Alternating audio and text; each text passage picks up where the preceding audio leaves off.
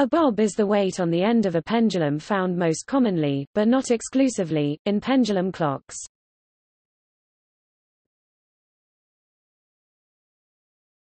Topic. Reason for use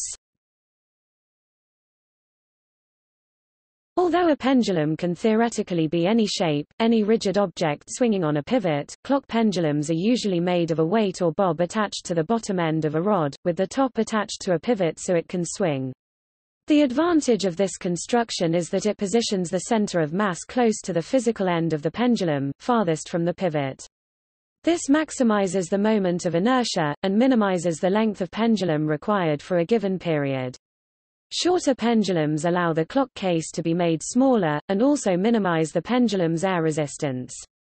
Since most of the energy loss in clocks is due to air friction of the pendulum, this allows clocks to run longer on a given power source.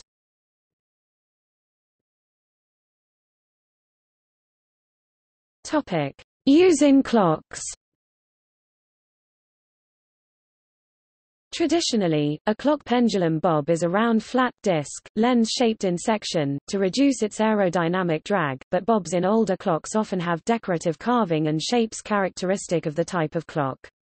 They are usually made of a dense metal such as iron or brass. Lead is denser, but is usually avoided because of its softness, which would result in the bob being dented during its inevitable collisions with the inside of the clock case when the clock is moved. In most pendulum clocks the rate is adjusted by moving the bob up or down on the pendulum rod. Moving it up shortens the pendulum, making it beat more quickly, and causing the clock to gain time. In the most common arrangement, the bob is attached to the pendulum with an adjustment nut at the bottom, on the threaded end of the pendulum rod. Turning the nut adjusts the height of the bob. But some bobs have levers or dials to adjust the height. In some precision clocks there is a smaller auxiliary weight on a threaded shaft to allow more fine adjustment. Tower clocks sometimes have a tray mounted on the pendulum rod, to which small weights can be added or removed, to adjust the rate without stopping the clock. The weight of the bob itself has little effect on the period of the pendulum. However, a heavier bob helps to keep the pendulum moving smoothly until it receives its next push from the clock's escapement mechanism.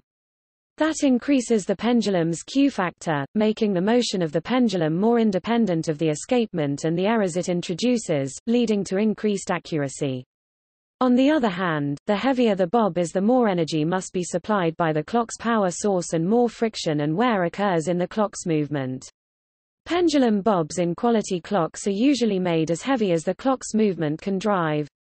A common weight for the bob of a one-second pendulum, widely used in grandfather clocks and many others, is around 2 kilograms.